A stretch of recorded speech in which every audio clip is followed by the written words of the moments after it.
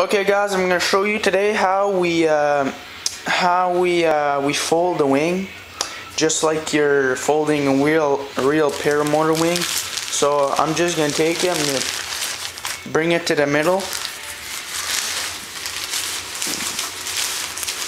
It's pretty fun doing this. My favorite part. And after that you take that part, you fold the middle. And after that, oh sorry a minute. I'm gonna put you somewhere. I'm gonna put on this cup so you can see what the hell I'm doing. So uh, you fold it, you fold it here, and after that you take here, here in the middle, you go like this. After, oh, make sure that there's nothing caught and put all the string in there.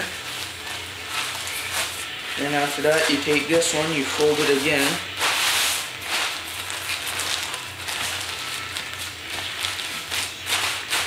And after that, you take that and you fold it back, just like a like a tortilla or something like that. And after that, you take it and you just roll it up. Just like you were doing that in the real on the real paramotor wing. And after that, you just put it in your bag.